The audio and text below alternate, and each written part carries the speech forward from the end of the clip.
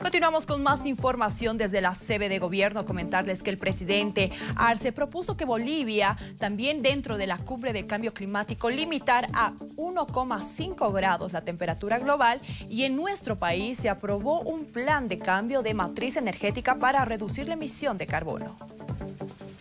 Luis Arce participó la mañana de este martes en una conferencia de prensa tras la reunión con los jefes de Estado del Grupo de Países en Vías de Desarrollo de Ideas Afines desde Glasgow, Escocia respecto a los planteamientos de nuestro país hechos públicos por ARCE ante la COP26 está el maximizar los esfuerzos para limitar a 1.5 grados el calentamiento global, la incorporación de mecanismos alternativos al del mercado para acceder al financiamiento de países desarrollados y lograr un financiamiento oportuno que permita combatir los efectos del cambio climático. Nosotros somos críticos de los mecanismos de mercado que se estén implementando, que han sido propuestos hasta ahora países desarrollados. Primero porque en los mecanismos de mercado existe asimetría de la información.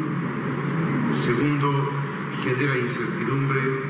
Y tercero, lo más importante, no es un mecanismo inmediato porque hasta que opere el mercado, básicamente esos instrumentos que